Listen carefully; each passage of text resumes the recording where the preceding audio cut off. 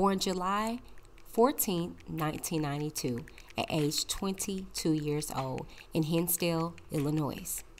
Jeremiah Jerry Harris is an American former cheerleader and television personality.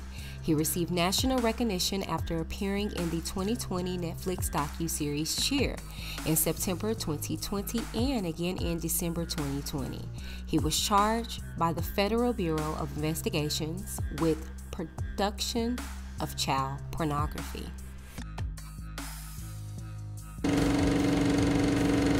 Get her up. When like we're stunting, like the boy needs to get her up in the air, keep her up, and she better not come down. And I say get her off. Get her off! Sergeant, you're gorgeous! 98 pounds! I don't even know what I scream. I scream whatever I, whatever comes to mind at that moment. Get out! Walk, walk, walk, walk!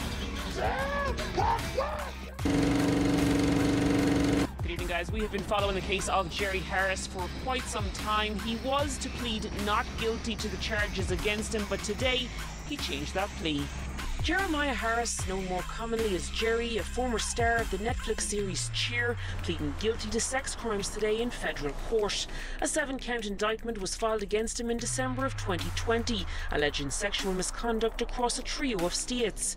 As part of a deal, Harris entered a guilty plea on one count of receipt of child pornography and another of travelling with intent to engage in illicit sexual conduct. Prosecutors say if this case had gone to trial, their evidence would have shown that back in the summer of 2020, while Harris was living in his hometown of Naperville, he communicated with a minor whom he knew was under 18 via Snapchat, repeatedly asking for photos of a sexual nature. With respect to the second charge, it stated Harris travelled from Dallas to Orlando in May of 2019 for the purpose of engaging in sexual conduct with a 15 year old whom he asked to meet in a public bathroom. After ensuring Harris was fully competent and aware of what he was admitting to, the judge today accepted his plea. The defence team in the case releasing a statement to WGN a short time later saying the criminal conduct took place in the context of a competitive cheer community where inappropriately sexualizing and sexually abusing children was far too common and too often overlooked.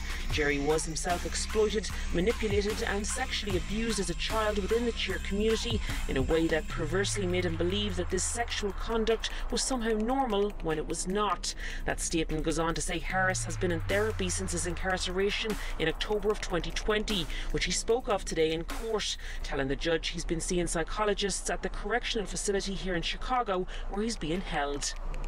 Again, that plea package involves the prosecution asking the judge to sentence Harris on those two counts only. The count of child porn here in Illinois carries a minimum of five years in prison and a max of 20 years. The second charge in relation to travel between Texas and Florida carries a maximum term of 30 years behind bars. Sentencing has been set for June 28th. Ooh, your eyes are big.